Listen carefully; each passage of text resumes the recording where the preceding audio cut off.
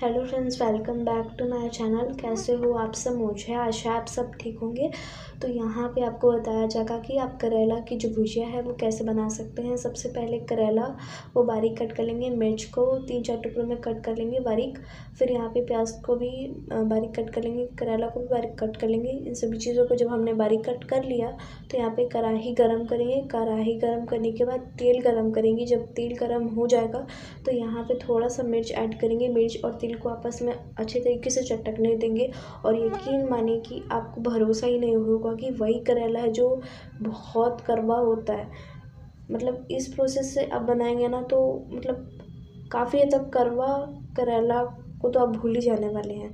सिर्फ़ करेला याद आने वाली है आपको बस, ऐसा होने वाला है। क्योंकि मम्मी के हाथों से ना मतलब ऐसा होता है ना, मम्मी पता नहीं, मम्मी कैसे बनाती है ना कि कभी ऐसा लगता ही नहीं कि हम वही करेला की भुजिया खा रहे हैं जो हमेशा करवा होता है। तो यहाँ पे क्या करेंगे कि करेला को गोल्डन ब्राउन होने तक इसको अच्छे तरीके से फ्राई करेंगे। जब हल्का फ्राई हो जाए तो यहाँ पे थोड़ा सा हल्दी डालेंगे। हल्दी डालने के बाद इसको अच्छे तरीके से मिक्स कर लेंगे। देख सकते हैं जैसे कि, और अगर आपको वीडियो पसंद आ रही है तो वीडियो को लाइक करना और आप कमेंट बॉक्स में कॉम्प्लीमेंट ज़रूर दीजिएगा कि ये वीडियो कैसी लग रही है और वीडियो में हमें क्या चेंजेस करना चाहिए, क्या नहीं करना चाहिए, वो भी हमें बताइएगा।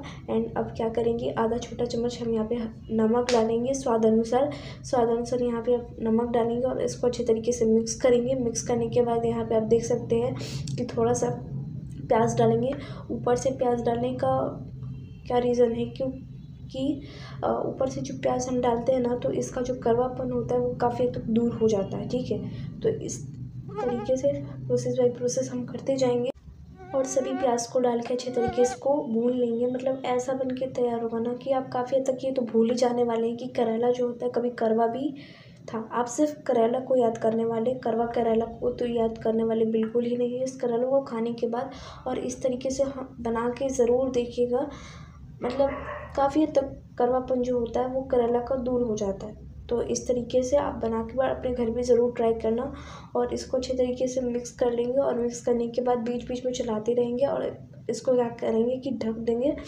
जब आ, मतलब भून जाएगा मतलब फ्राई हो जाएगा करेला का जो भुजिया है तो मतलब फिर देख सकते हैं कि हमारा जो काफ़ी तक करेला का भुजिया है, वो भून चुका है फ्राई हो चुका है। तो यहाँ पे अब सीधा हम सर्व करके दिखाएँगे और सॉरी गाइस बोलने में बहुत मुझे प्रॉब्लम हो रही है सर्दी की वजह से। सर्दी नहीं होती ना तो मैं आपको बहुत अच्छे से एक्सप्लेनेशन करके बताती, लेकिन बताइएगा कमेंट बॉक्स में कि एक्सप्लेनेशन भी कैसा था।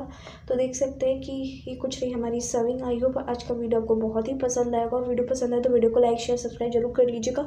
वीडियो देखने के लिए आपका दिल से धन्यवाद। मिलते हैं अगले वीडियो में, तब तक के लिए bye and take care and safe